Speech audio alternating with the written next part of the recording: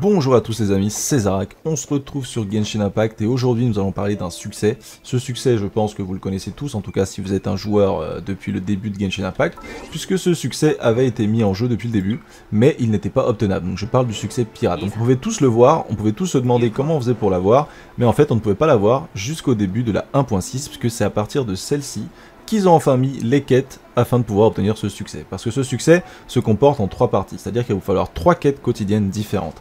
Malheureusement, il y a une des trois quêtes que je pensais avoir le record, mais visiblement je l'ai pas. Je, pensais l'avoir record, mais je l'ai pas, donc j'en suis désolé, mais ce n'est pas bien grave, vous inquiétez pas. Donc comment vous faites pour obtenir ce succès?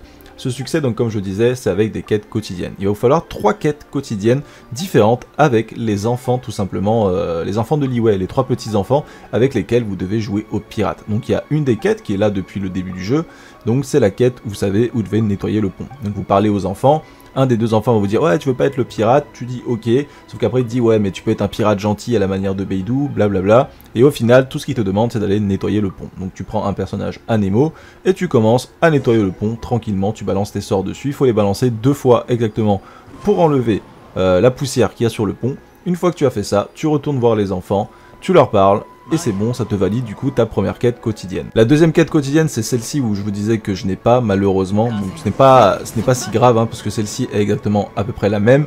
Tout ce qu'il va falloir faire, c'est encore une fois aller parler aux enfants, sauf que là, en fait, il va y avoir qu'un seul enfant, les, deux autres ne sont pas là, il va dire que oui, ils veulent pas jouer avec eux, ou quelque chose comme ça, je me souviens plus trop.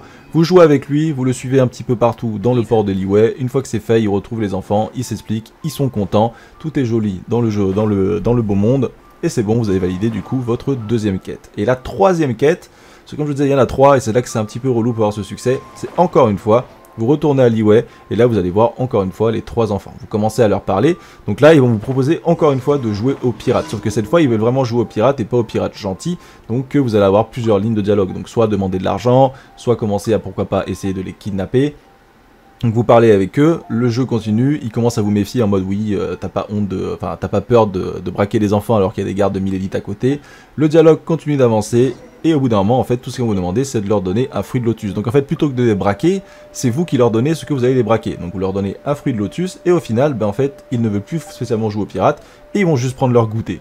Et une fois qu'ils ont fini tout simplement de prendre leur goûter et de discuter avec vous, vous allez tout simplement pouvoir obtenir le succès pirate. Donc voilà, euh, c'est un succès très simple d'obtention. Le seul problème, c'est que tout simplement, il vous faut trois quêtes quotidiennes complètement différentes. Et du coup, sachant que les quêtes quotidiennes peuvent apparaître à n'importe quel moment de la journée. Moi, j'ai eu de la chance, les deux dernières, là, je vous ai dit, je les ai eues euh, d'affilée. Euh, deux jours d'affilée, mais sinon des fois je pouvais attendre un mois voire deux mois avant de obtenir la quête quotidienne de celle-ci et c'est ça qui fait que c'est un petit peu problématique. Donc voilà, J'espère que cette vidéo vous a plu, j'espère que ça a été euh, très compréhensible pour vous comment obtenir ce succès. N'hésitez pas à vous abonner si vous êtes tout nouveau sur la chaîne, mettre un j'aime, un commentaire. Moi je vous dis à la prochaine les amis, portez-vous bien, et puis la bise.